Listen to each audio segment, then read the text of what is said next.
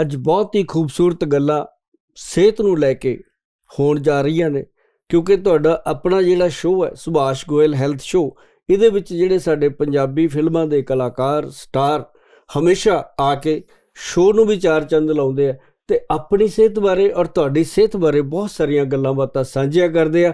ਉਹਦੇ ਲਈ ਅੱਜ ਸਾਡੇ ਨਾਲ ਬਹੁਤ ਹੀ ਸੀਨੀਅਰ ਕਲਾਕਾਰ ਜਿਹੜੇ ਹੈਗੇ ਆ, ਮੈਡਮ ਸੀਮਾ ਕੌਸ਼ਲ ਜੀ, ਤੇ ਉਹਨਾਂ ਦੇ ਨਾਲ ਅਸੀਂ ਲੈ ਕੇ ਆਏ ਆ ਅੱਜ ਸ਼ੋਅ ਦੇ ਵਿੱਚ, ਖਾਸ ਕਰ ਬਲਵੀਰ ਬੋਪਾ ਰਾਏ ਜੀ ਨੂੰ। ਔਰ ਨਾਲ ਹੀ ਪ੍ਰਭ ਗਰੇਵਾਲ ਮੈਡਮ ਤੇ ਨਾਲ ਹੀ ਹਸ਼ਲੀਨ ਮੈਡਮ ਜਿਹੜੇ ਨੇ ਉਹਨਾਂ ਨੇ ਸ਼ੋਅ ਨੂੰ ਆ ਕੇ ਚਾਰ ਚੰਦ ਲਾਏ ਆ। ਸਾਨੂੰ ਉਮੀਦ ਹੈ ਕਿ ਅੱਜ ਆਪਾਂ ਜਾਣਾਂਗੇ ਕਿ ਹਸ਼ਲੀਨ ਮੈਡਮ ਜਿਹੜੇ ਆ ਉਹ ਇੰਨੇ ਖੂਬਸੂਰਤ ਕਿਵੇਂ ਲੱਗ ਸਕਦੇ ਆ। ਤੇ ਨਾਲ ਹੀ ਜਿਹੜੇ ਪ੍ਰਭ ਗਰੇਵਾਲ ਮੈਡਮ ਹੈ ਉਹ ਉਹਨਾਂ ਤੋਂ ਵੀ ਜ਼ਿਆਦਾ ਖੂਬਸੂਰਤ ਤੇ ਲੰਬੇ ਲੰਝੇ ਕਿੱਦਾਂ ਹੋਏ ਆ। ਕਈ ਬੱਚਿਆਂ ਨੂੰ ਇਹ ਕਰੇਜ਼ ਰਹਿੰਦੀ ਹੈ ਵੀ ਸਾਡੇ ਕੱਦ ਛੋਟੇ ਕਿਉਂ ਰਹਿ ਗਏ ਤੇ ਅੱਜ ਅਸੀਂ ਇਹ ਮਿਸ਼ਰਣ ਜਿਹੜਾ ਹੈਗਾ ਤੁਹਾਡੇ ਨਾਲ ਲੈ ਕੇ ਆਏ ਆ ਕਿ ਸਾਡੇ ਨਾਲ ਸੀਮਾ ਕੌਸ਼ਲ ਜੀ ਤੇ ਬਲਬੀਰ ਬੋਪਾ ਰਾਏ ਜੀ ਨੇ ਕਿਵੇਂ ਗੇੜਾ ਦਿੱਤਾ। ਉਹ ਸਾਰੇ ਅੱਜ ਗੱਲਬਾਤ ਕਰਾਂਗੇ।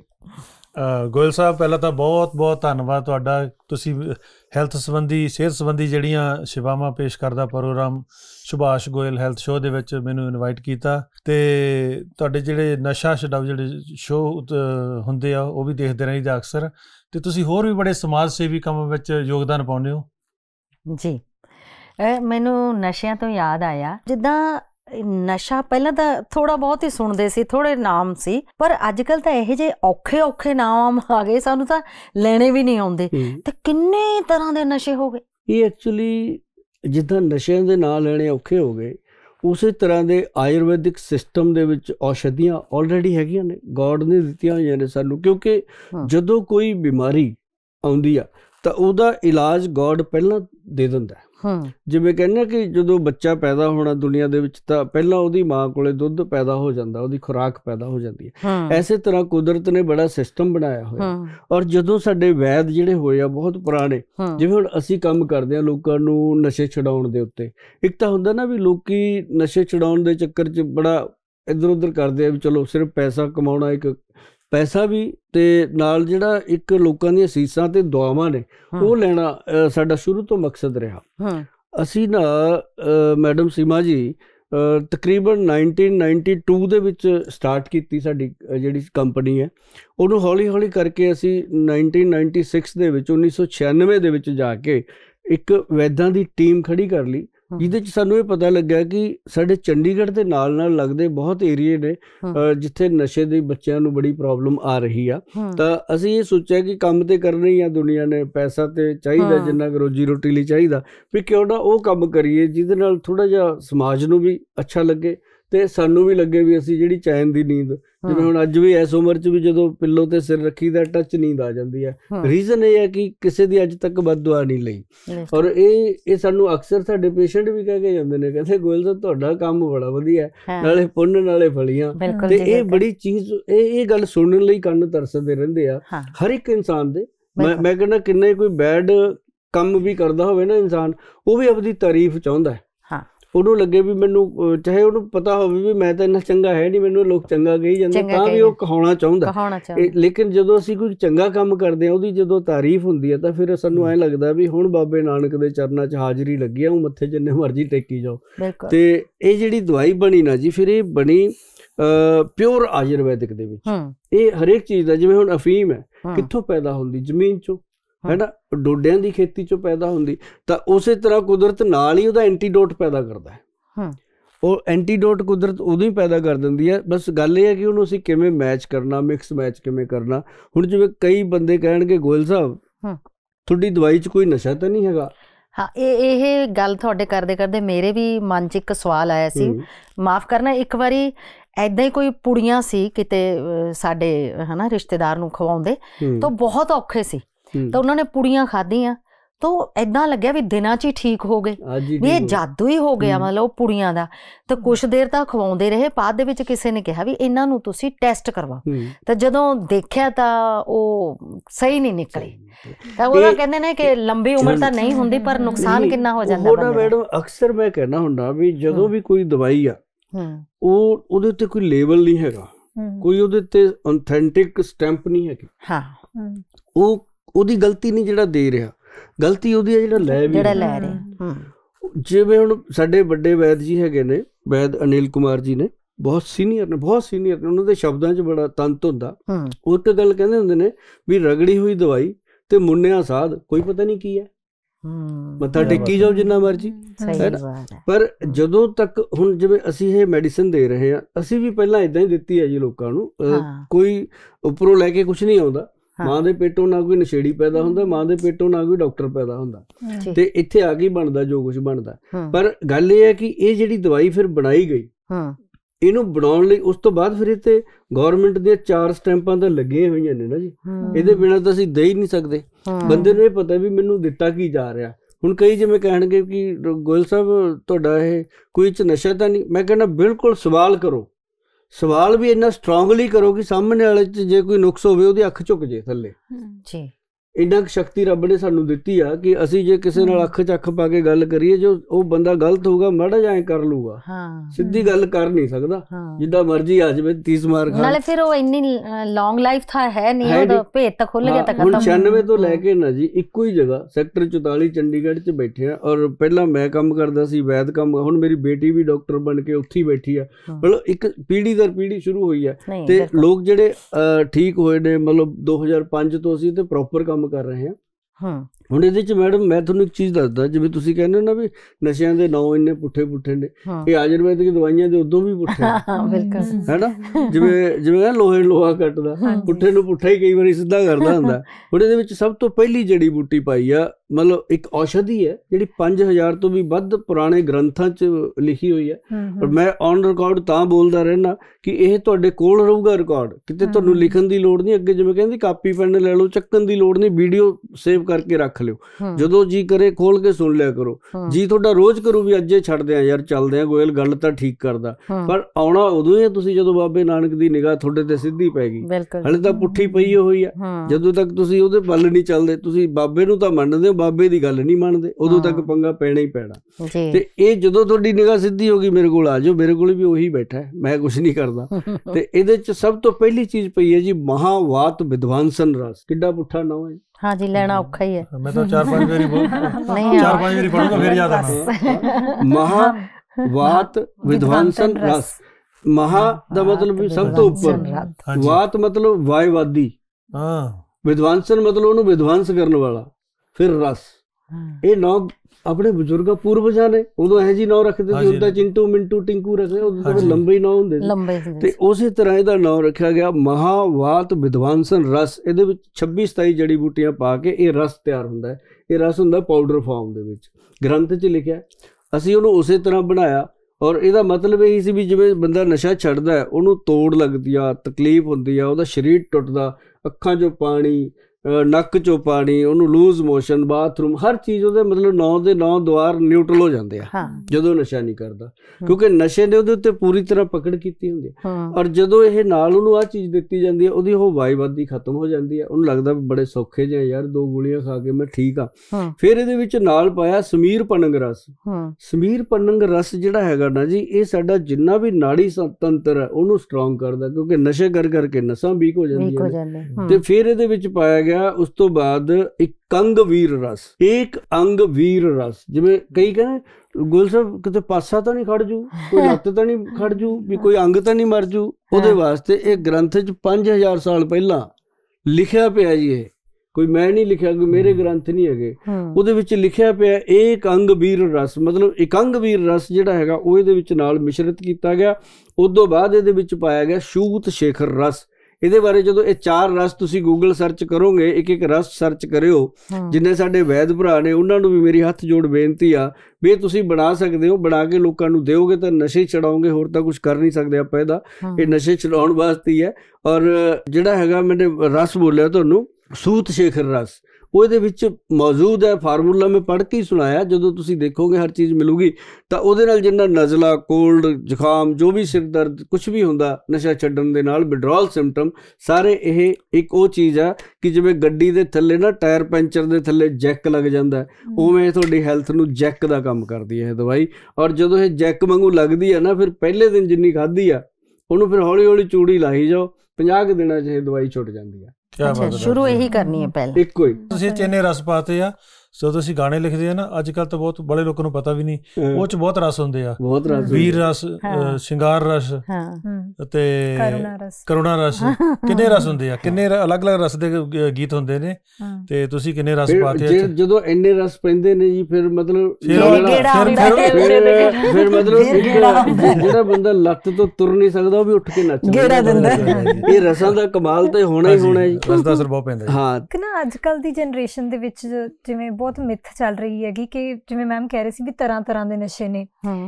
ਜਿਵੇਂ ਅਕਸਰ ਲੋਕਾਂ ਤੋਂ ਸੁਣਦੇ ਹੋ ਕਹਿੰਦੇ ਵੀ ਅਸੀਂ ਕਿਹੜਾ ਸਿੰਥੈਟਿਕ ਨਸ਼ੇ ਕਰ ਰਹੇ ਹਾਂ ਅਸੀਂ ਤਾਂ ਨੈਚੁਰਲ ਕਰ ਰਹੇ ਹਾਂ। ਮਤਲਬ ਉਹਨਾਂ ਨੇ ਇੱਕ ਜਸਟੀਫਿਕੇਸ਼ਨ ਬਣਾਈ ਹੋਈ ਆ। ਉਹਨਾਂ ਵਾਸਤੇ ਤੁਸੀਂ ਕੀ ਕਹਿਣਾ ਚਾਹੋਗੇ ਵੀ ਇਹ ਕਿਸ ਹੱਦ ਤੱਕ ਮਤਲਬ ਉਹਨੂੰ ਤੁਸੀਂ ਸਹੀ ਜਾਂ ਗਲਤ ਸਮਝਦੇ ਹੋਗੇ? ਤੇ ਮਤਲਬ ਮੈਂ ਨਹੀਂ ਕਹਿੰਦੀ ਹੈ ਕਿ ਜਸਟੀਫਾਈਡ ਹੈ ਬਟ ਲੇਕਿਨ ਉਹਨਾਂ ਲੋਕਾਂ ਨੂੰ ਵੀ ਜੋ ਸ਼ਾਇਦ ਇਸ ਵਹਿਮ ਦੇ ਵਿੱਚ ਨੇ ਵੀ ਅਸੀਂ ਸਿੰਥੈਟਿਕ ਵੱਲ ਤਾਂ ਨਹੀਂ ਜਾ ਰਹੇ ਹੈਗੇ ਵੀ ਅਸੀਂ ਤਾਂ ਨੈਚੁਰਲ ਕਰਨ ਲੱਗੇ ਐਕਚੁਅਲੀ ਨਾ ਇਹਨੂੰ ਮੈਂ ਤੁਹਾਨੂੰ ਦੱਸਦਾ ਇਹਨੂੰ ਅਸੀਂ ਕਹਿੰਦੇ ਹੁੰਦੇ ਕਿ ਪੁੱਗਦੇ ਦੀ ਗੱਲ ਹੈ। ਕਈ ਵਾਰੀ। ਜਿਵੇਂ ਨਾ ਕਿਸੇ ਦੀ ਪਾਕਟ ਅਲਾਉ ਕਰਦੀ ਆ ਵੀ ਚਲੋ ਮੈਂ ਕਿਹੜਾ ਕੋਈ ਜਿਵੇਂ ਕਈ ਵਾਰੀ ਬੰਦਾ ਕੋਈ दारू ਪੀਂਦਾ ਉਹਨੂੰ ਕੋਈ ਰੋਕ ਦੇਵੇ ਵੀ ਨਾ ਪੀ ਐ ਹੋ ਜਾਊਗਾ। ਉਹ ਕਹਿੰਦਾ ਮੈਂ ਕਿਹੜਾ ਤੇਰੇ ਪਿਓ ਦੀ ਪੀਣਾ ਮੈਂ ਤਾਂ ਆਪਦੀ ਕਮਾਉਣਾ ਆਪਦੀ ਪੀਣਾ ਕਈ ਵਾਰੀ ਆਪਦੀ ਮਾਂ ਨੂੰ ਵੀ ਕਹਿ ਦਿੰਦਾ ਬੰਦਾ ਵੀ ਮਾਂ ਮੈਂ ਤੇਰੇ ਕਿਹੜਾ ਮੈਂ ਤੇਰੇ ਕਿਹੜਾ ਗਹਿਣੇ ਵੇਚਤੇ? ਮੈਂ ਤੇ ਆਪਦੀ ਕਮਾ ਕੇ ਪੀਣਾ ਉਹ ਕੀ ਹੈ ਕਿ ਕੋਈ ਵੀ ਨਸ਼ਾ ਹੈ ਜੀ। ਇਹ ਇਹ ਉਹਦਾ ਸਾਈਡ ਇਫੈਕਟ ਹੀ ਹੈ। ਜੇ ਉਹਨੇ ਆਪਣੀ ਮਾਂ ਨੂੰ ਇੰਨੀ ਗੱਲ ਬੋਲਤੀ ਇਟ ਮੀਨ ਜਦੋਂ ਬੜਾ ਸਾਈਡ ਇਫੈਕਟ ਨਹੀਂ ਹੋ ਸਕਦਾ ਕੋਈ ਨਸ਼ੇ ਦਾ। ਵੀ ਉਹ ਇੰਨਾ ਬੋਲਣ ਦੇ ਕਾਬਲ ਹੋ ਗਿਆ ਵੀ ਆਪਣੀ ਢਿੱਡੋ ਜੀ ਨੇ ਜੰਮਿਆ ਉਹਦੇ ਮੂਹਰੇ ਇਹ ਗੱਲ ਬੋਲ ਰਿਹਾ ਖੜਾ ਤਾਂ ਇਟ ਮੀਨ ਉਹਦੇ ਤੇ ਬਹੁਤ ਬੜਾ ਸਾਈਡ ਇਫੈਕਟ ਹੋ ਗਿਆ। ਤਾਂ ਇਹ ਕੋਈ ਵੀ ਨਸ਼ਾ ਜਿਹੜਾ ਹੈਗਾ ਉਹ ਸਾਡੇ ਬ੍ਰੇਨ ਦੇ ਅੰਦਰ ਜਿਹੜਾ ਹਾਰਮੋਨ ਸਿਸਟਮ ਹੈ ਸੈਰੋਟੋਨਿਨ ਹਾਰਮੋਨਸ ਨੇ ਉਹਨਾਂ ਨੂੰ ਜਾ ਕੇ ਡੈਮੇਜ ਕਰ ਦਿੰਦਾ ਔਰ ਉਹ ਜਿਹੜੇ ਹਾਰਮੋਨਸ ਨੇ ਉਹ ਸਾਡੇ ਜਿਵੇਂ ਗੱਡੀ ਦਾ ਡਰਾਈਵਰ ਹੈ ਜਹਾਜ਼ ਦਾ ਕੋਈ ਪਾਇਲਟ ਹੈ ਉਹ ਸਾਡੇ ਦਿਮਾਗ ਦਾ ਸਾਡੇ ਸਰੀਰ ਦਾ ਉਹ ਇੱਕ ਪਾਇਲਟ ਆ ਹਾਰਮੋਨ ਜਦੋਂ ਉਹਨੂੰ ਨਸ਼ਾ ਡੈਮੇਜ ਕਰਦਾ ਤਾਂ ਉਹ ਰੋਜ਼ ਉੱਠ ਕੇ ਸਵੇਰੇ ਜਦ ਉੱਠਦਾ ਇੱਕ ਵਾਰੀ ਉਦੋਂ ਜ਼ਰੂਰ ਕਹਿੰਦਾ ਵੀ ਅੱਜ ਨਹੀਂ। ਕੁਝ ਹੋ ਜਾਵੇ ਅੱਜ ਨਹੀਂ ਕਰਨਾ। ਜੋ ਉਹਦਾ ਥੋੜੀ ਜੀ ਹੋਸ਼ ਸੰਭਲਦੀ ਹੈ ਕੁਝ ਖਾਂਦਾ ਪੀਂਦਾ ਸਰੀਰ ਜਾਂ ਸੈੱਟ ਹੁੰਦਾ ਉਹ ਹਾਰਮੋਨ ਫਿਰ ਡਿਮਾਂਡ ਕਰਦਾ। ਕਸੂਰ ਉਹਦਾ ਨਹੀਂ ਹੁੰਦਾ ਵੀ ਉਹ ਨਸ਼ੇ ਕਰਦਾ। ਉਹ ਨਸ਼ਾ ਜਿਹੜਾ ਨਾ ਮੈਡਮ ਤੁਸੀਂ ਪੁੱਛਿਆ ਸਵਾਲ ਉਹ ਵੀ ਉਹ ਉਹ ਸਿਰਫ ਬਹਾਨੇ ਲਾਉਂਦਾ ਵੀ ਆ ਤਾਂ ਨਸ਼ਾ ਠੀਕ ਆ। ਉਹ ਆਪਣੇ ਆਪ ਨੂੰ ਟਿਕਾਉਂਦਾ ਸਮਝਾਉਂਦਾ। ਆਪਣੇ ਆਪ ਨੂੰ ਹੋਰ ਕੋਈ ਗੱਲ ਨਹੀਂ। ਉਹਨੂੰ ਪਤਾ ਇਹ ਹੁੰਦਾ ਵੀ ਮੈਂ ਬਹੁਤ ਗਲਤ ਫਸਿਆ ਹੋਇਆ। ਔਰ ਜਦੋਂ ਪਤਾ ਲੱਗਦਾ ਆਪਾਂ ਨੇ ਗੱਲ ਸੁਣੀ ਹੋਈ ਆ ਸਾਰਿਆਂ ਨੇ ਉਹਦੀ ਵਿਆਖਿਆ ਨਹੀਂ ਕਰਾਂਗੇ ਹਿੰਟ ਦਿੰਦੇ ਆ ਵੀ ਮਹਾਪੁਰਸ਼ਾਂ ਨੇ ਕਿਹਾ ਵੀ ਇੱਕ ਮੱਖੀ ਨੇ ਸ਼ਹਿਦ ਵਿੱਚ ਬੈਠ ਕੇ ਸ਼ਹਿਦ ਖਾਣਾ ਸ਼ੁਰੂ ਕੀਤਾ। ਉਹਨੂੰ ਪਤਾ ਉਦੋਂ ਲੱਗਿਆ ਜਦੋਂ ਫਸ ਗਈ ਉਹ ਵੀ ਉਹਦੇ ਫੰਗ ਲਿਬੜ ਗਏ ਫਿਰ ਮੌਤ ਨਾਲ ਹੀ ਖਿਹੜਾ ਛੁੱਟਦਾ ਤੇ ਉਹ ਚੀਜ਼ ਹੈ ਕਿ ਨਸ਼ਾ ਵੀ ਇੱਕ ਉਹੀ ਐਗਜ਼ਾਮਪਲ ਨਾਲ ਫਿੱਟ ਹੈ ਕਿ ਇਦਾਂ ਹੀ ਹੁੰਦਾ। ਪਰ ਕੋਈ ਵੀ ਸਿੰਥੈਟਿਕ ਨਸ਼ਾ ਕੋਈ ਨੇਚਰਲ ਨਸ਼ਾ ਕੋਈ ਵੀ ਨਸ਼ਾ ਚਾਹੇ ਉਹ ਚੰਗਾ ਚਾਹੇ ਮਾੜਾ ਜਿਹੜਾ ਨਸ਼ਾ ਰੂਪੀ ਜਿਹੜਾ ਤੁਹਾਡੇ ਸਰੀਰ ਦੇ ਕਿਸੇ ਹਾਰਮੋਨ ਨੂੰ ਡਿਸਟਰਬ ਕਰ ਰਿਹਾ ਤੁਹਾਡੀ ਬਾਡੀ ਨੂੰ ਆਪਦੇ ਅੰਡਰ ਗ੍ਰਿਪ ਕਰ ਰਿਹਾ ਤਾਂ ਉਹ ਨਸ਼ਾ ਜਿਹੜਾ ਹੈਗਾ ਉਹ ਤੁਹਾਡੇ ਲਈ ਅੱਜ ਵੀ ਮਾੜਾ ਕੱਲ ਵੀ ਮਾੜਾ ਪਰਸੋਂ ਵੀ ਮਾੜਾ ਅੱਜ ਛੱਡ ਲਓ ਕੱਲ ਛੱਡ ਲਓ ਪਰਸੋਂ ਛੱਡ ਲਓ ਤੁਹਾਡੇ ਲਈ ਤੁਹਾਡਾ ਭਰਾ ਹਮੇਸ਼ਾ ਇੱਕੋ ਗੱਲ ਕਹਿੰਦਾ ਰਹੂਗਾ ਕਿ ਨਸ਼ੇ ਛੱਡੋ ਜਿਹੜੀ ਜ਼ਿੰਦਗੀ ਹੈ ਉਹ ਬਚੀ ਹੋਈ ਜ਼ਿੰਦਗੀ ਨੂੰ ਬਚਾ ਲਓ ਕਿਉਂਕਿ ਆਪਾਂ ਨੂੰ ਪਤਾ ਹੈ ਵੀ ਛੱਡਣਾ ਔਰ ਇੱਕ ਗੱਲ ਹੋਰ ਹੈ ਸੀਮਾ ਮੈਡਮ ਮੈਂ ਤੁਹਾਡੇ ਥਰੂ ਇਹ ਗੱਲ ਮੈਸੇਜ ਦੇ ਦਵਾਂ ਬਲਵੀਰ ਜੀ ਕਿ ਜਿਹੜਾ ਵੀ ਇਨਸਾਨ ਨਸ਼ਾ ਕਰਦਾ ਹੈ ਅੱਜ ਤੱਕ ਅਸੀਂ ਘੱਟੋ ਘੱਟ 7-800 ਕੈਂਪ ਦਾ ਕੱਲੇ ਨਸ਼ੇ ਤੇ ਲਾਇਆ ਹਜ਼ਾਰ ਤੋਂ ਉੱਪਰ ਸਾਡੇ ਕੈਂਪ ਨੇ ਜਿਹੜੇ ਰਿਕਾਰਡ 'ਚ ਨੇ। ਬਹੁਤ ਅੱਛਾ ਹੈ। ਡਾਇਬੀਟਿਸ ਦੇ ਉੱਤੇ ਲਾਏ ਨੇ ਹੋਰ ਬਹੁਤ ਅਵੇਅਰਨੈਸ ਕੈਂਪ ਅਸੀਂ ਲਾਏ ਨੇ। ਪੰਜਾਬ, ਹਰਿਆਣਾ ਔਰ ਹਿਮਾਚਲ 'ਚ ਜ਼ਿਆਦਾ ਦੂਰ ਅਸੀਂ ਕਰਦੇ ਨਹੀਂ, ਜਾਂ ਅਸੀਂ ਗੁਰਦੁਆਰੇ 'ਚ ਜਾਂਦੇ ਜਾਂ ਮੰਦਿਰ 'ਚ, ਦੋ ਜਗ੍ਹਾ ਅਸੀਂ ਕੈਂਪ ਆਯੋਜਨ ਕਰਦੇ ਹਾਂ। ਤੇ ਉਹ ਕੈਂਪਾਂ ਦੇ ਵਿੱਚ ਅਸੀਂ ਇੱਕ ਚੀਜ਼ ਦੇਖੀ ਹੈ ਵੀ ਜਿਹੜਾ ਇਨਸਾਨ ਨਸ਼ਾ ਕਰਦਾ ਕੋਈ ਵੀ ਕਿੱਡਾ ਉਹ ਛੱਡਣਾ ਚਾਹੁੰਦਾ।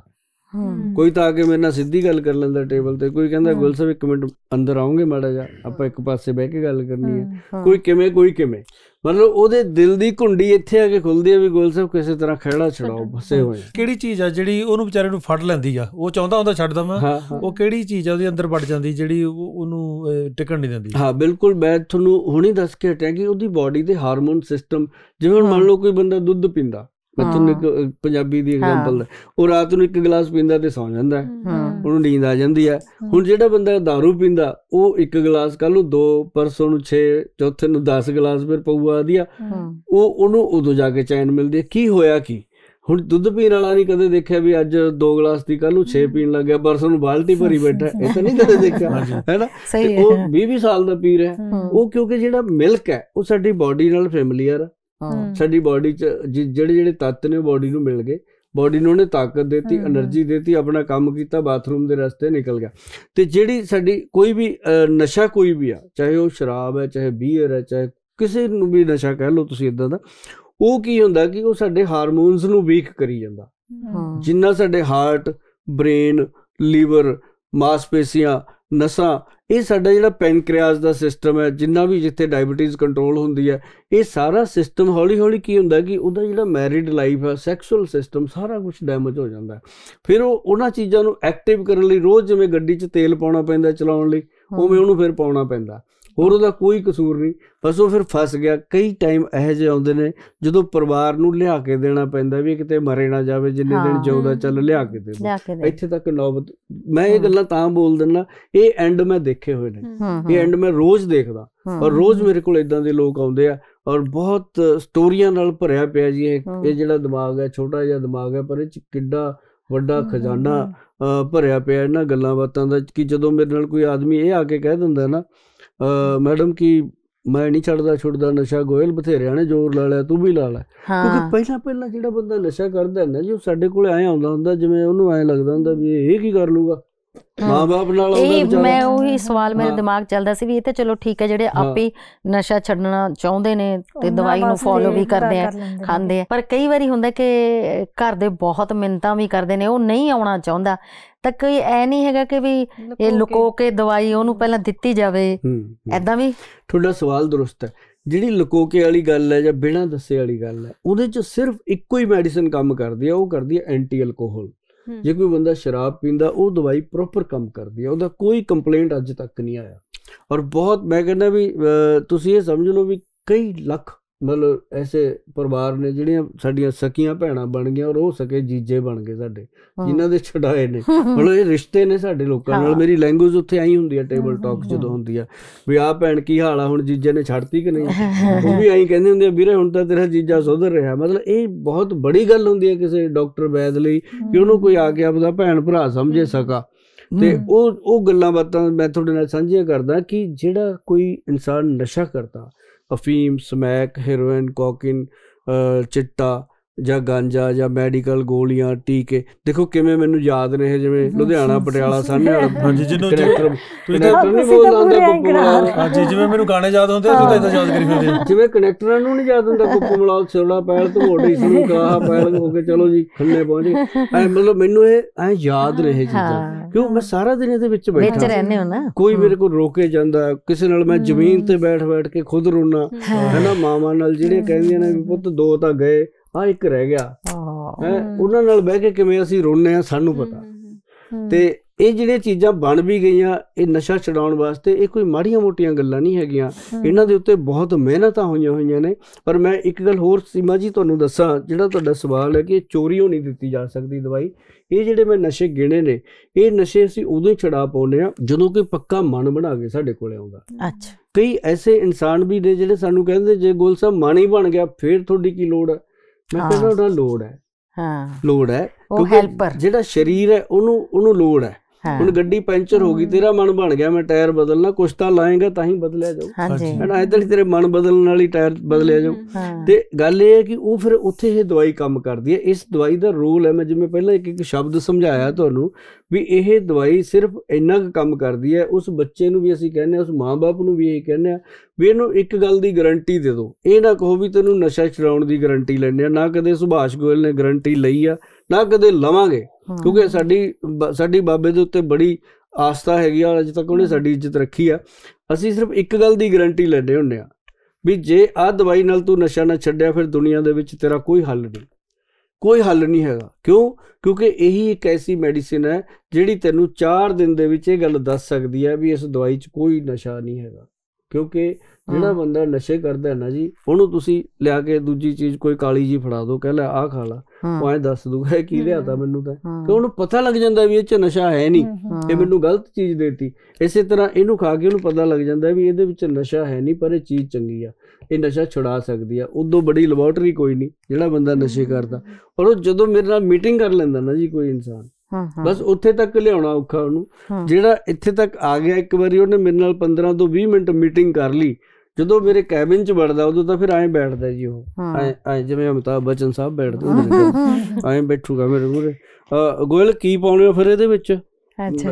ਐ ਪਹਿਲਾਂ ਨਾ ਕੋਈ ਚਾਚਾ ਨਾ ਤਾਇਆ ਨਾ ਨਾ ਸਾਸਰੀ ਕਾਲ ਹੰਡ ਵਾਸਤੇ। ਗੋਇਲ ਫਿਰ ਇਹਦੇ 'ਚ ਤੁਸੀਂ ਕੀ ਪਾਉਣੇ ਹੋ? ਉਹ ਫਿਰ ਸੱਚੀ ਜੀਜੇ ਵਾਲੀ ਫੀਲਿੰਗ ਚ ਆ ਜਾਂਦਾ। ਹਾਂ ਪੂਰੀ ਫੀਲਿੰਗ ਨਾਲ ਲੈਂਦਾ ਤੇ ਫਿਰ ਉਹਨੂੰ ਮੈਂ ਕਹਿੰਦਾ ਹੁੰਦਾ ਇਹਦੇ 'ਚ ਕੁਝ ਨਹੀਂ ਪਾਉਂਦੇ। ਇਹਦੇ ਵਿੱਚ ਕੋਈ ਜਾਦੂ ਨਹੀਂ ਹੈਗਾ। ਇਹ ਬਸ ਤੇਰੀ ਸਰੀਰ ਨੂੰ ਤੋੜ ਨਹੀਂ ਲੱਗਣ ਦਊਗਾ। ਉਹ ਫੇਰ ਕਹਿੰਦਾ ਇਹ ਜੀ ਤਾਂ ਦੁਨੀਆ 'ਚ ਕੋਈ ਚੀਜ਼ ਹੀ ਨਹੀਂ ਬਣੀ। ਕਿਉਂ ਉਹਦਾ ਵੀ ਇੱਕ ਤਜਰਬਾ ਹੁੰਦਾ। ਹਾਂਜੀ। ਉਹਨੂੰ ਇਹ ਪਤਾ ਹੁੰਦਾ ਵੀ ਜਿੱਥੇ ਅਸੀਂ ਜਾਂਦੇ ਆ ਸਾਨੂੰ ਲੁੱਟਣ ਵਾਲੇ ਬੈਠੇ ਆ। ਵੀ ਕੋਈ ਸਾਨੂੰ ਪੁੜੀਆਂ ਤੇ ਲਾ ਦਿੰਦਾ ਕੋਈ ਗੋਲੀਆਂ ਤੇ ਲਾ ਦਿੰਦਾ ਕੋਈ ਕਾਸੇ ਚੀਜ਼ ਤੇ ਲਾ ਦਿੰਦਾ ਵੀ ਲੋਕ ਲੁੱਟੀ ਜਾਂਦੇ ਨੇ। ਇਹ ਵੀ ਇਹੋ ਜਿਹਾ ਹੀ ਹੋਊਗਾ ਇਹ ਸਾਡੇ ਮਾਪੇ ਲਿਆਏ ਮੈਨੂੰ ਇਹਨਾਂ ਤੋਂ ਇਹ ਪੈਸੇ ਲੈ ਲੂ ਕਈ ਐਸੇ ਕਲਾਕਾਰ ਹੁੰਦੇ ਨੇ ਸੀਮਾ ਮੈਡਮ ਮੈਨੂੰ ਕਹਿਣਗੇ ਗੱਲ ਗੌਰ ਨਾਲ ਸੁਣਿਓ ਜਿਹੜੇ ਆਏ ਹੋਏ ਉਹਨਾਂ ਨੂੰ ਵੀ ਪਤਾ ਮੈਂ ਤੁਹਾਡੀ ਉਹ ਗੱਲ ਕਰਦਾ। ਕਈ ਐਸੇ ਕਲਾਕਾਰ ਆਉਣਗੇ ਮੇਰੇ ਕੋਲੇ ਹੁੰਦੇ ਤਾਂ ਸਾਡੇ ਸਗੇ ਭਰਾ ਹੀ ਨੇ ਉਹ ਕਿਉਂਕਿ ਸਾਡੀ ਰੋਜੀ ਰੋਟੀ ਚਲਾਉਂਦੇ ਨੇ ਉਹ। ਤੇ ਲੇਕਿਨ ਉਹ ਆ ਕੇ ਕਹਿਣਗੇ ਗੋਇਲ ਸਾਹਿਬ ਮੇਰੀ ਨਾ ਮਾਂ ਕਿੰਨੇ ਦਿਨ ਦੀ ਮੇਰੇ ਗਲ ਪਈ ਆ ਜਾ ਕੇ ਗੋਇਲ ਨੂੰ ਤੂੰ ਮਿਲ ਤਾਂ ਲੈ ਨਾ ਛੱਡੀ। ਤੇ ਤੂੰ ਐ ਕਰੀ ਯਾਰ ਪੈਸੇ ਲੈ ਲਈ ਬੇਬੇ ਤੋਂ ਦਵਾਈ ਮੈਂ ਬਾਅਦ ਚ ਤੇਰੀ ਮੋੜ ਜੂੰਗਾ ਮੈਨੂੰ ਉਹ ਪੈਸੇ ਦੇ ਦੇ। ਮੈਂ ਮੇਰੇ ਦੋ ਡੰਗ ਲੰਘ ਜਾਣਗੇ। ਮੈਂ ਚੰਗਾ ਚੱਲ ਕੋਈ ਨਹੀਂ ਤੂੰ ਐ ਖੁਸ਼ ਤਾਂ ਐ ਸਹੀ। ਤੇ ਉਹਨੂੰ ਫਿਰ ਬਿਠਾ ਲਈਦਾ ਜੀ। ਜਦੋਂ ਉਹਨੂੰ ਬਿਠਾਈਦਾ ਉਹਦੇ ਮਾਂ ਮੈਨੂੰ ਹੁਣ ਪਤਾ ਲੱਗ ਜਾਂਦਾ ਵੀ ਹੁਣੇ ਹੁਣ ਇਹਨੇ ਚੂੰ ਚਾ ਨਹੀਂ ਕਰਨੀ ਹੁਣ ਇਹਨੂੰ ਪਤਾ ਲੱਗਾ ਕਿ ਗੋਇਲ ਨੂੰ ਮੈਂ ਸਮਝਾਤਾ ਆਪਦੀ ਗੱਲ। ਵੀ ਹੁਣ ਇਹ ਤਾਂ ਸ਼ਾਂਤ ਹੋ ਗਿਆ। ਉਸ ਤੋਂ ਬਾਅਦ ਫਿਰ ਉਹਦੇ ਮਾਂ-ਬਾਪ ਨੂੰ ਚੰਗੀ ਤਰ੍ਹਾਂ ਸਮਝਾਈਦਾ ਫਿਰ ਉਹਨਾਂ ਨੂੰ ਦੱਸ ਦੇਈਦਾ ਵੀ ਇਹਨੇ ਮੈਨੂੰ ਐਂ ਗੱਲ ਕਹੀ ਹੈ ਕਿ ਤੁਸੀਂ ਇਹਦੀ ਫੀਲਿੰਗ ਖਤਮ ਨਾ ਹੋਣ ਦਿਓ ਇਹਨੂੰ ਇਹੀ ਫੀਲਿੰਗ ਰਹਿਣੀ ਚਾਹੀਦੀ ਹੈ। ਵੀ ਅਸੀਂ ਗੋਇਲ ਨੂੰ ਦਵਾਈ ਮੋੜਿਆ ਹੁਣ ਤੂੰ ਪਤਾ ਚੂਰਨ ਖਾਈ ਜਾ। ਗੋਇਲ ਗੋਇਲ ਨੂੰ ਵੀ ਲੱਗੇ ਵੀ ਮੇਰੀ ਦਵਾਈ ਖਾਦਾ ਤੇ ਫਿਰ ਉਹ ਉਸ ਹਿਸਾਬ ਨਾਲ ਫਿਰ ਉਹ ਚੱਲਦਾ ਜੀ। ਜਦੋਂ ਪਹਿਲੀ ਖੁਰਾਕ ਉਹਦੇ ਮੂੰਹ 'ਚ ਜਾਂਦੀ ਹੈ ਨਾ ਜੀ ਮਤਲਬ ਇਹ ਇੱਕ ਬਹੁਤ ਵੱਡੀ ਗੱਲ ਹੈ ਜਿਹੜੀ ਮੈਂ ਇੱਕ ਚੈਨਲ ਤੇ ਵੀ ਕਹਿ ਰਿਹਾ ਔਰ ਐਡੇ ਵੱਡੇ ਆਪਣੇ ਪੰਜਾਬ ਦੇ ਮੈਸੇਂਜਰ ਕਲਾਕਾਰਾਂ ਦੇ ਨਾਲ ਕਹਿ ਰਿਹਾ। ਇਹ ਗੱਲਾਂ ਐਵੇਂ ਨਹੀਂ ਹੁੰਦੀਆਂ। ਔਰ ਇੱਕ ਇੱਕ ਫਾਰਮੂਲੇਸ਼ਨ ਮੈਂ ਦੱਸ ਕੇ ਕਹਿ ਰਿਹਾ ਕਿ ਇਹ ਜਦੋਂ ਪਹਿਲੀ ਖੁਰਾਕ ਉਸ ਇਨਸਾਨ ਦੇ ਅੰਦਰ ਜਾਂਦੀ ਹੈ, ਉਹਨੂੰ ਇਹ ਦੱਸ ਦਿੰਦੀ ਹੈ ਵੀ ਅਗਰ ਦੁਨੀਆ 'ਚ ਕੋਈ ਦਵਾਈ ਨਸ਼ਾ ਛੱਡਣ ਦੀ ਹੈਗੀ ਹੈ ਜਾਂ ਨਸ਼ਾ ਛੱਡਣ 'ਚ ਹੈਲਪ ਕਰਨ ਵਾਲੀ ਹੈਗੀ ਆ, ਤਾਂ ਇਹ ਜਿਹੜਾ ਨੀਰੋ ਪਲੱਸ ਕੈਪਸੂਲ ਹੈ ਨੈਰੋਪਲਸ ਡੀ ਇਹਨੂੰ ਬਣਾਇਆ ਕਿ ਨਰਵਾਈਨ ਸਿਸਟਮ ਨੂੰ ਕੰਟਰੋਲ ਕਰਦਾ। ਇਹੀ ਇੱਕ ਦਵਾਈ ਹੈ ਜਿਹੜੀ ਉਹਨੂੰ ਨਸ਼ਾ ਛਡਾ ਸਕਦੀ ਹੈ। ਔਰ ਮੈਂ ਪਹਿਲਾਂ 4 ਦਿਨ ਤੋਂ ਵੱਧ ਦਵਾਈ ਨਹੀਂ ਦਿੰਦਾ ਕਿਸੇ ਨੂੰ। ਕੋਈ ਐਸਾ ਲਾਲਚ ਨਹੀਂ ਕਿ ਦਵਾਈ ਉਹ ਦੇਣੀ ਆ ਬਾਅਦ ਚਾਹੇ ਕੋਈ ਕੁਝ ਕਰੇ। 4 ਦਿਨ ਦੀ ਉਹਨੂੰ ਦਵਾਈ ਦੇਈਦੀ ਆ ਉਹਨੂੰ ਕਹਿੰਦੇ 4 ਦਿਨ ਦਵਾਈ ਖਾ ਕੇ ਫਿਰ ਤੂੰ ਆਈ ਸਾਡੇ ਕੋਲੇ। ਫਿਰ ਦੇਖਾਂਗੇ ਕੀ ਬਣਦਾ। ਔਰ ਚੌਥੇ ਦਿਨ ਜਿਹੜਾ ਐਂ ਬੈਠਾ ਹੁੰਦਾ ਹਾਂ। ਉਹ ਅੰਦਰ ਬੜੇ ਆਰਾਮ ਨਾਲ ਆਉਂਦਾ। ਹਾਂ। ਉਹਨੂੰ ਇਹ ਗੱਲ ਸਮਝ ਆ ਚੁੱਕੀ ਹੁੰਦੀ ਵੀ ਕੁਝ ਤੇ ਹੈਗਾ ਗੱਲਬਾਤ ਹੈਗੀ ਆ। ਫਿਰ ਉਹ ਆ ਕੇ ਅੰਦਰ ਕਹਿੰਦਾ ਵੀ ਗੋਲ ਸਾਹਿਬ ਬਾਕੀ ਸਾਰਾ ਕੁਝ ਠੀਕ ਆ। ਹਾਂ। ਤੋੜ ਵੀ ਨਹੀਂ ਲੱਗੀ ਕੋਈ। ਬਸ ਇੱਕ ਤਾਂ ਨੀਂਦ ਘੱਟ ਰਾਤ ਨੂੰ। ਮੈਂ ਤਾਂ ਕੀ ਹੋਇਆ? ਜੇ 4 ਦਿਨ ਘੱਟ ਸੌ ਲੇਗਾ ਕਿਹੜੀ ਦੁਨੀਆ ਇੱਧਰ ਉੱਧਰ ਹੋ ਜੂਗੀ ਕੋਈ ਗੱਲ ਨਹੀਂ। ਦੁੱਧ ਦੱਧ ਪੀਆ ਕਰ ਦਹੀਂ ਉਹਦੇ ਵਿੱਚ ਦੁੱਧ ਦੇ ਵਿੱਚ ਹਲਦੀ ਪਾ ਕੇ ਪੀਆ ਕਰ। ਕੁਛ ਉਹਨੂੰ ਫਿਰ ਦੋ ਚਾਰ ਗੱਲਾਂ ਜਦੋਂ ਮੈਂ ਕਹਿਣਾ ਨਾ ਜੀ ਉਸ ਦਿਨ ਉਸ ਸਟੇਜ ਤੇ ਉਹ ਆ ਜਾਂਦਾ ਵੀ ਅੱਜ ਜਿਹੜੀ ਗੱਲ ਗੋਇਲ ਸਾਹਿਬ ਕਹਿਣਗੇ ਮੈਂ ਪੂਰੀ ਫਿਰ ਕਈ ਵਾਰੀ ਕਾਗਜ਼ ਰੱਖ ਲੈਂਦਾ ਮੈਨੂੰ ਲਿਖਾ ਦਿਓ ਜੀ। ਮੈਂ ਕਿਉਂਕਿ ਨਿਕਲਣਾ ਹਰ ਕੋਈ ਚਾਹੁੰਦਾ। ਇਹ ਮੈਂ ਤੁਹਾਨੂੰ ਦੱਸ ਦਿੰਦਾ ਆਪਾਂ ਨੂੰ ਲੱਗਦਾ ਹੁੰਦਾ ਆਪਾਂ ਹੀ ਕਹਿੰਦੇ ਆ ਵੀ ਤੂੰ ਕਿਉਂ ਸਾਡੇ ਘਰੇ ਜੰਮ ਪਿਆ ਤੂੰ ਕਲੰਕ ਹੈ ਤੂੰ ਫਲਾਣਾ ਉਹ ਵਿਚਾਰਾ ਫਸ ਗਿਆ ਹੁੰਦਾ। ਉਹਨੂੰ ਮਾੜੇ ਸ਼ਬਦ ਨਾ ਬੋਲਿਆ ਕਰੋ ਕਿਉਂਕਿ ਬਹੁਤ ਸਾਰੇ ਪੰਜਾਬੀ ਗਾਣਿਆਂ 'ਚ ਵੀ ਮੈਂ ਸੁਣੀਆਂ ਹੋਈਆਂ ਨੇ ਇਹ ਗੱਲਾਂ ਵੀ ਜਿਹੜੇ ਨਸ਼ਾ ਕਰਨ ਵਾਲੇ ਹੁੰਦੇ ਆ ਬੰਦੇ ਉਹ ਤਾਂ ਰੱਬ ਦੇ ਪਰੌਣੇ ਹੁੰਦੇ ਆ। ਉਹ ਤਾਂ ਵਿਚਾਰੇ ਮਾਰ ਪਈ ਹੁੰਦੀ ਆ ਉਹਨਾਂ ਦੇ ਉੱਤੇ ਸਮਾਜ ਦੀ ਵੀ ਨਸ਼ਿਆਂ ਦੀ ਵੀ ਜੇਬ ਕੰਨੀਓ ਵੀ ਨੰਗ ਹੋ ਜਾਂਦੇ ਨੇ ਕੋਈ ਉਹਨਾਂ ਦੀ ਹੈਲਪ ਨਹੀਂ ਕਰਦਾ।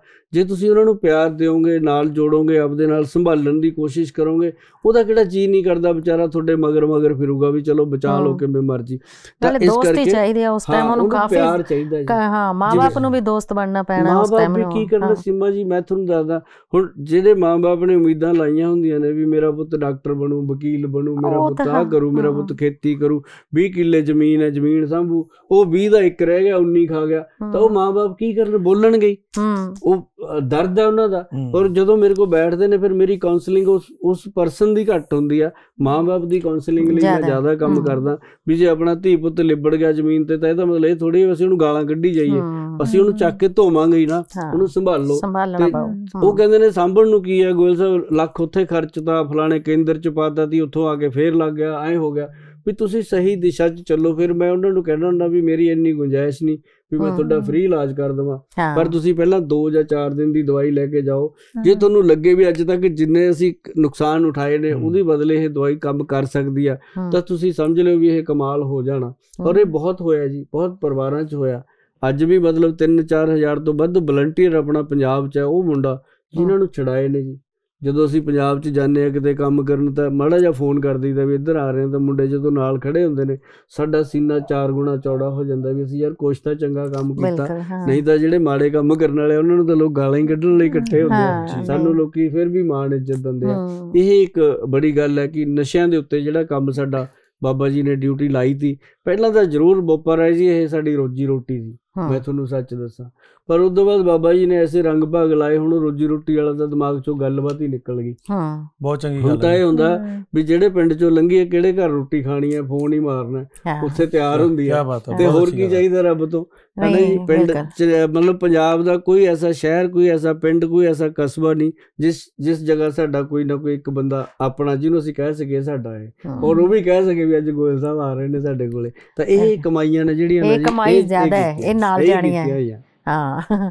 ਸੋ ਜਿਹੜਾ ਆਪਾਂ ਖਾਲੀ ਪੇਟ ਨਿੰਬੂ ਪਾਣੀ ਆਪਾਂ ਪੀਂਦੇ ਆ। ਉਹਦਾ ਕੋਈ ਸਾਈਡ ਇਫੈਕਟ ਹੈਗੇ ਨੇ? ਕਿਉਂਕਿ ਮੈਂ ਮੈਂ ਵੀ ਪੀਂਦੀ ਆ ਮਤਲਬ ਮੋਸਟਲੀ ਸਾਰੇ ਪੀਂਦੇ ਹੀ ਹੋਣਗੇ। ਹਾਂ। ਨਿੰਬੂ ਪਾਣੀ ਪੀਣਾ ਚਾਹੀਦਾ ਕੋਈ ਇਹਦਾ ਪ੍ਰੋਬਲਮ ਨਹੀਂ ਹੈ ਪਰ ਜਿਹੜੇ ਲੋਕੀ ਖਾਲੀ ਪੇਟ ਪੀਂਦੇ ਆ ਉਹ ਨੁਕਸਾਨ ਹੈ। ਓਕੇ ਖਾਲੀ ਪੇਟ ਕਈ ਲੋਕੀ ਕੀ ਕਰਦੇ ਆ ਨਿੰਬੂ ਪਾਣੀ ਪੀਂਦੇ ਆ ਗਰਮ ਪਾਣੀ ਚ ਪਾ ਕੇ ਨਿੰਬੂ। ਪੀਂਦੇ ਆ ਕਈ ਉਹਦੇ ਵਿੱਚ ਹੋਰ ਵੱਡਾ ਇੱਕ ਹੋਰ ਵੱਡਾ। ਕਰਨਗੇ ਵੀ ਸ਼ਹਿਦ ਪਾ ਦਿਓ ਹਮ, ਉਸ ਤੋਂ ਵੱਡਾ ਯੂਰਿਕ ਐਸਿਡ ਦਾ ਕਾਰਨ ਬਣਦਾ ਮੈਡਮ ਇੱਕ ਦਿਨ. ਉਹਨਾਂ ਲੋਕਾਂ ਨੂੰ ਐ ਲੱਗਦਾ ਵੀ ਮੈਂ ਤਾਂ ਰੋਜ਼ ਸਵੇਰੇ ਸਵੇਰੇ ਨਿੰਬੂ ਵੀ ਪੀਨੀ ਆ ਮੈਂ ਤਾਂ ਵਿੱਚ ਸ਼ਹਿਦ ਵੀ ਪਾਉਣੀ ਆ ਮੇਰੇ। ਗੋਡੇ ਜੇ ਪਤਾ ਨਹੀਂ ਕਿਉਂ। ਖੜੀ ਜਾਂਦੇ ਨੇ ਉਸੇ ਕਰਕੇ ਉਹ. ਯੂਰਿਕ ਐਸਿਡ ਦਾ ਕਾਰਨ ਬਣਦਾ ਅਗਰ ਤੁਸੀਂ ਪਾਣੀ ਪੀਓ ਸਵੇਰੇ। ਬਾਡੀ ਟੈਂਪਰੇਚਰ ਦੇ ਅਕੋਰਡਿੰਗ ਨਾਰਮਲ ਪਾਣੀ ਪੀਓ ਕਈ ਲੋਕੀ ਤਾਂਬੇ ਦੇ ਭਾਂਡੇ 'ਚ ਪੀਂਦੇ ਆ ਉਹ ਵੀ। ਕਈਆਂ ਨੂੰ ਸੂਟ ਕਰਦਾ ਕਈਆਂ ਨੂੰ ਨਹੀਂ ਕਰਦਾ ਵੈਦ ਦੀ ਸਲਾਹ ਨਾਲ ਲਓ ਐਵੇਂ ਨਾ ਕਹੀ ਜਾਓ ਵੀ ਮ, ਤਾਂਬੇ 'ਚ ਪਾਣੀ ਕਈ ਵਾਰੀ। ਸੂਟ ਨਹੀਂ ਕਰਦਾ।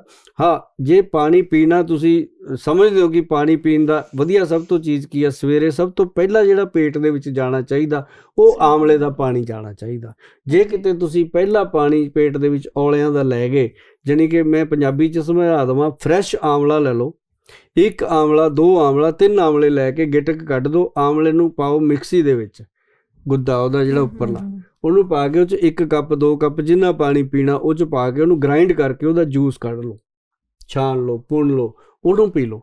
ਜਿਹਨੇ ਪਹਿਲਾ ਗਲਾਸ ਆਮਲੇ ਦਾ ਪੀਣਾ ਸ਼ੁਰੂ ਕਰਤਾ ਸਿਪ ਕਰ ਕਰਕੇ ਪੀਣਾ ਕਿਤੇ ਗਟਕ ਕੇ ਨਾ ਪੀਣਾ। ਗਲਾ ਖਰਾਬ ਹੋਣ ਲੱਗ ਜੂਗਾ ਹੌਲੀ ਹੌਲੀ ਗਲਾ ਬੈਠਣ ਲੱਗ ਜੂਗਾ। ਸਿਪ ਕਰ ਕਰਕੇ ਪੀਣਾ ਔਰ ਉਹ ਤੁਹਾਨੂੰ ਜਿਹੜਾ ਫਾਇਦਾ ਕਰੂਗਾ ਉਹ ਤੁਸੀਂ ਮੈਨੂੰ ਸ਼ਬਦਾਂ 'ਚ ਦੱਸ ਪਾਓਗੇ ਪਤਾ ਨਹੀਂ ਨਹੀਂ ਪਰ ਤੁਸੀਂ ਥੈਂਕ ਯੂ ਬੋਲੋਗੇ। ਪੈਰਾਂ ਦੀ ਜਲਨ ਖਤਮ ਹੋ ਜਾਂਦੀ ਹੈ ਪੈਰਾਂ ਦੇ ਥੱਲੇ ਦਰਦ ਖਤਮ ਹੋ ਜਾਂਦਾ ਹੈ। ਜਿਹੜੇ ਸਵੇਰੇ ਉੱਠਦੇ ਨੇ ਉੱਠਣ ਸਾਰ ਬਿਫਤਾ ਪੈ ਜਾਂਦੀ ਹੈ ਵੀ ਜੇ ਪੈਰ ਥੱਲੇ ਲਾਹੂੰ ਤਾਂ ਪੈਰ ਦੁਖਣਗੇ। ਮੇਰੀ ਜਾਨ ਨਿਕਲ ਜੂ। ਉਹਨਾਂ ਵਾਸਤੇ ਔਲਾ ਜਿਹੜਾ ਹੈਗਾ ਸਭ ਤੋਂ ਵੱਡਾ ਇੱਕ ਟੌਨਿਕ ਆ। ਇਹਦਾ ਪਾਣੀ ਜੇ ਹੁਣ ਕਈ ਕਹਿਣਗੇ ਫਰੈਸ਼ ਆਮਲਾ ਨਹੀਂ ਮਿਲਦਾ ਜੀ ਕਦੇ। ਹਮ, ਨਹੀਂ ਮਿਲਦਾ ਨਾ ਸੀ ਹਾਂ। ਸੁੱਕੇ ਔਲਿਆਂ ਦਾ ਚੂਰਨ ਮਿਲਦਾ ਹੈ। ਹਾਂ। ਕਿਸੇ ਵੀ ਵਧੀਆ ਕੰਪਨੀ ਦਾ ਲੈ ਲਓ ਔਲਿਆਂ ਦਾ ਚੂਰਨ ਲੈ ਲਓ ਇੱਕ ਚਮਚਾ ਰਾਤ ਨੂੰ ਇੱਕ ਗਲਾਸ ਚ ਭਿਓ ਕੇ ਰੱਖ ਦਿਓ ਸਵੇਰੇ ਖਾਲੀ ਪੇਟ ਉਹਨੂੰ ਘੋਲ ਕੇ ਪੀ ਲਓ। ਉਸ ਤੋਂ ਵੀ ਵਧੀਆ ਚੀਜ਼ ਹੈ। ਔਰ ਤੀਜੀ ਸਭ ਤੋਂ ਬੜੀ ਚੀਜ਼ ਹੈ ਵੀ ਮੈਂ ਤਾਂ ਗਰੀਬ ਆ ਜੀ ਕਿੱਥੋਂ ਔਲੇ ਲੈਣ ਜਾਊਂਗਾ। ਫਿਰ ਸਭ ਤੋਂ ਵਧੀਆ ਚੀਜ਼ ਹੈ ਇੱਕ ਮਿੱਟੀ ਦਾ ਘੜਾ ਲਿਆਓ। ਹਮ, ਛੋਟਾ ਜਿਹਾ ਜਿਹਦੇ ਵਿੱਚ 4-5 ਗਲਾਸ ਪਾਣੀ ਪੈ ਜੇ ਉਹ ਤੇ ਆ ਜਾਊਗਾ 20 ਰੁਪਏ ਦਾ 30 ਰੁਪਏ ਦਾ। ਉਹ ਲਿਆ ਕੇ ਉਹ ਚ ਪਾਣੀ ਪਾ ਕੇ ਢੱਕ ਕੇ ਰੱਖ ਦਿਓ ਸਵੇਰੇ ਉਹਦਾ ਪਾਣੀ। ਸਰਦੀਆਂ 'ਚ ਤੁਹਾਡੀ ਬਾਡੀ ਟੈਂਪਰੇਚਰ ਦੇ ਮੁਤਾਬਕ ਰਹੂਗਾ ਠੰਡਾ ਨਹੀਂ ਹੁੰਦਾ ਗਰਮੀਆਂ 'ਚ ਠੰਡਾ ਰਹੂਗਾ।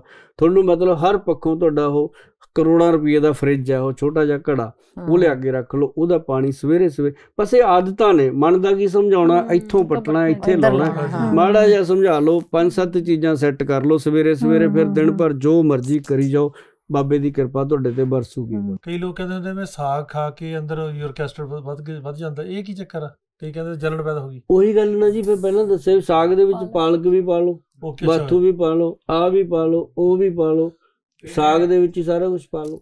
ਫਿਰ ਫਿਰ ਸਾਗ ਦਾ ਹੱਲ ਦੇਖੋ ਸਾਗ ਅੱਗੇ ਬਣਦਾ ਸੀ ਮਿੱਟੀ ਦੀ ਹਾਂਡੀ 'ਚ। ਹੁਣ ਬਣਦਾ ਕੁੱਕਰਾਂ ਉਹ 'ਚ। ਕੁੱਕਰ ਸੀਟੀ 'ਚ। ਹੁਣ ਜਿਹੇ ਜਿਹੇ ਉਹ ਸੀਟੀਆਂ ਮਾਰਦਾ ਹੋ ਜਾਂ ਬੰਦਾ ਸੀਟੀਆਂ ਮਾਰਦਾ ਫਿਰ। ਕਿਉਂਕਿ ਉਹ ਜਿਹੜਾ ਕੁੱਕਰ ਹੈ ਉਹ ਉਹ ਹੈ ਕਾਦਾ ਬਰਤਨ ਕਿਸ ਧਾਤੂ ਦਾ ਕਿੱਥੇ ਮਿੱਟੀ ਦੀ ਹਾਂਡੀ? ਹਾਂਡੀ ਦਾ ਬਣਿਆ ਹੋਇਆ ਸਾਗ ਅਸੀਂ 8 ਦਿਨ 10 ਦਿਨ ਕੀ 15 ਦਿਨ ਵੀ ਪਿਆ ਖਾਂਦੇ ਸੀ।